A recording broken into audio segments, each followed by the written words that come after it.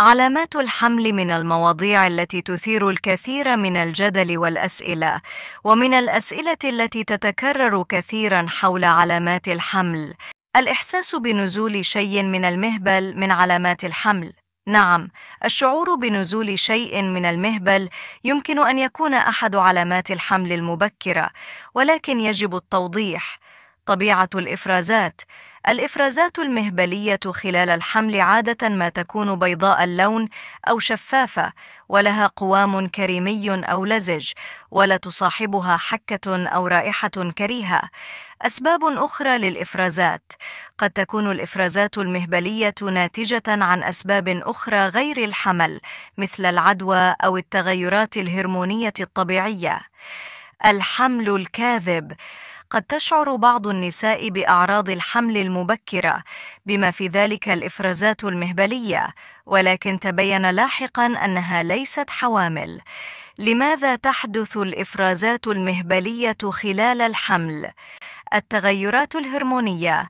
يسبب الحمل زيادة في هرمون الإستروجين مما يؤدي إلى زيادة الإفرازات المهبلية للمساعدة في الحفاظ على نظافة المهبل وحماية الجنين من العدوى. انغراس البويضة. قد يحدث نزيف خفيف أو بقع دم عند انغراس البويضة الملقحة في بطانة الرحم مما قد يرافقه إفرازات خفيفة. متى يجب استشارة الطبيب؟ إذا كانت الإفرازات مصحوبة بأعراض أخرى مثل الحكة الإحمرار الالتهاب الرائحة الكريهة أو الألم. إذا كانت الإفرازات غزيرة أو مصحوبة بدم كثيف. إذا كانت الإفرازات مصحوبة بآلام في البطن أو حمى. تشخيص الحمل. اختبار الحمل المنزلي يمكن شراؤه من الصيدلية وإجراؤه في المنزل.